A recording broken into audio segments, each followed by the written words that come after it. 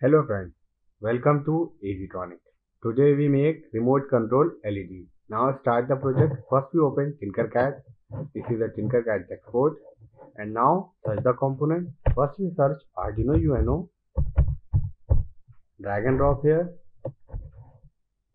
Second we search IR remote. IR. IR remote. Now IR sensor. This is the IR sensor. Last we search take one LED and one resistor. Now connect the circuit. Resistor connect to the cathode pin. This is a cathode pin. Also change the value of resistor. Click here and change the value 330 change kilo ohm to ohm. Now second terminal of resistor connect to the ground pin of Arduino. This is the GND pin. Now make the color black. Now anode pin connect to the 5 pin of Arduino. Because I have defined in the code 5 pin now connect to the TSOP sensor. This is the TSOP sensor, IR sensor. Positive terminal connect to the 5 volt of the Arduino. This is a 5 volt and also change the color red. And second pin connect to the ground. GND pin. Ground means GND. Also make the color black. And out pin connect to the 3 pin of Arduino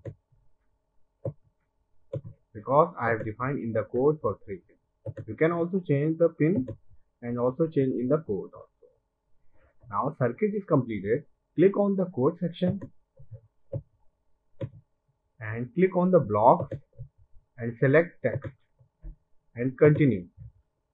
Now delete this code and paste the code here now delete this. Again we copy the code. This is the code? I have copied and paste in the Tinkercad you have see? 3 pin connect to the TSOP sensor and 5 pin connect to the LED now start simulate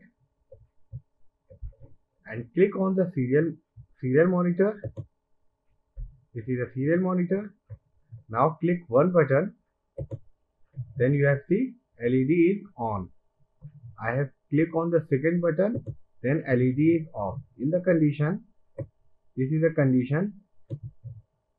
If the value is 401 then serial monitor show value 1 if the value is this then serial monitor value show is 2 now again I have just click on the one button then LED is on. Click on the second button then LED is off.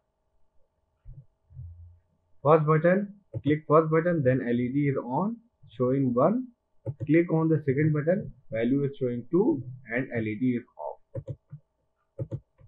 Code also given in the description. You can copy the code and paste in the Arduino IDE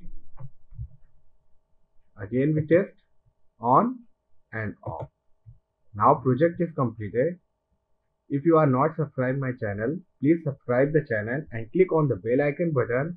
Then my then next video notification will, be, will be received you. Thank you all friends.